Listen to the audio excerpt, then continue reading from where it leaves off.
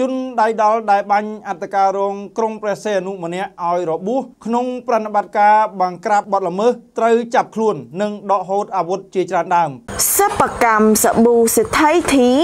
មានផលិតសាប៊ូបោកក្អៅសាប៊ូលាងចានសាប៊ូជូតអិត ដោះបង្គន់សាប៊ូបោកក្អៅម្សៅ និងទឹកក្រអូប ដែលមានគុណភាពល្អនិងតម្លៃសមរម្យគាំទ្រផលិតផលខ្មែរជួយឲ្យប្រជាពលរដ្ឋមានការងារធ្វើ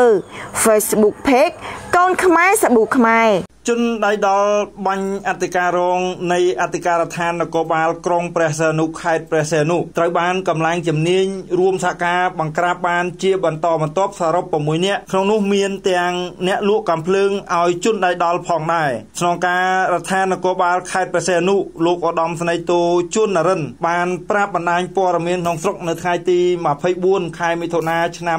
2022នេះថាជនដៃដល់និងបពុព្រមទាំងដែលអ្នកលក់អាវុធត្រូវបង្ក្រាបបានសរុប6នាក់ក្នុងនោះមានជនជាតិខ្មែរ3នាក់និងជនជាតិវៀតណាមដៃដល់3នាក់ផងដែរបើតាមលោកឧត្តមស្នេហ៍តូស្នងការ បានបញ្ជាក់ថាប្រណិប័តការនេះធ្វើឡើងក្រោមការបញ្ជាផ្ទាល់ពីនាយឧត្តមស្នេហ៍សន្តិបណ្ឌិតណេតសាវឿនអគ្គស្នងការនគរបាលជាតិនិងលោកគួចចម្រើនអភិបាលខេត្តនិងជាប្រធានគណៈបញ្ជាការឯកភាពខេត្តព្រះសីហនុដោយមានការសហការពីនាយកដ្ឋាននគរបាលព្រំប្រទានស្នងការរដ្ឋាននគរបាលខេត្តឧត្តរមានជ័យស្នងការរដ្ឋាននគរបាលខេត្តរតនគិរីសមត្ថកិច្ចបានបញ្ជាក់ទៀតថានៅពេលខកខ្លួនជនសង្ស័យបានហើយនោះកម្លាំងជំនាញក៏បានសួរនាំនិងស្រាវជ្រាវស្វែងរកប្រភពនៃការផ្ដាល់អាវុធឲ្យជនសង្ស័យដែលបានធ្វើសកម្មភាពជាលទ្ធផលចាប់ខ្លួនបាន3នាក់ឈ្មោះខាងលើព្រមទាំងឈានដល់ការឆែកឆេររកឃើញអាវុធជាច្រើនដើមទៀតផងរបាយការណ៍របស់នាយកដ្ឋានព្រំប្រទាន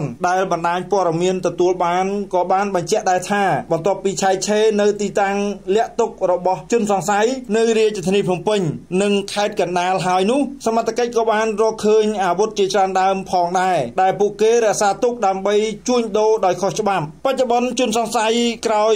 បញ្ចប់ការសួរនាំត្រូវបានបញ្ជូនទៅសាលាដំបងខេត្តព្រះសីហនុជាមួយវត្ថុតាងដើម្បីផ្ដន្ទាទោសតាមច្បាប់សូមជម្រាបថាកាលពីវេលាម៉ោង11យប់ថ្ងៃទី15ខែមិថុនាឆ្នាំ2022មានអ្នករត់តាក់ស៊ីម្នាក់ឈ្មោះកឹមភិរុនអាយុ37ឆ្នាំ បានមកប្តឹងរាយការណ៍ផ្ទាល់មាត់តាមរយៈទូរស័ព្ទជូនសមត្ថកិច្ចនៅគោលដៅស្នាក់ការ P120 ថា មានជនជាតិវៀតណាមជាមួយក្រុមមានគ្នា5នាក់ស្រី2នាក់បានជួលរថយន្តតាក់ស៊ីរបស់គាត់ជិះពីរាជធានីភ្នំពេញមកដល់ខេត្តព្រះសីហនុលើ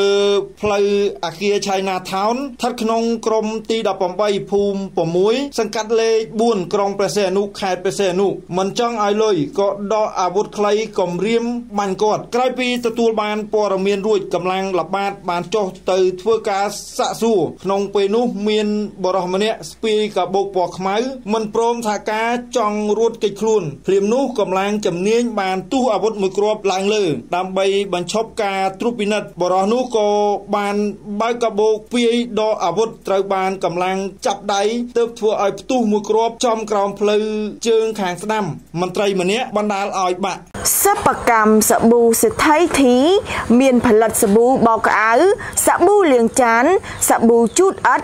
ដោះបង្គន់សាប៊ូបោកក្អៅម្សៅនិងទឹកក្រអូប ដែលមានគុណភាពល្អនិងតម្លៃសមរម្យគាំទ្រផលិតផលខ្មែរជួយឲ្យប្រជាពលរដ្ឋមានការងារធ្វើ Facebook Page កូនខ្មែរសាប៊ូខ្មែរ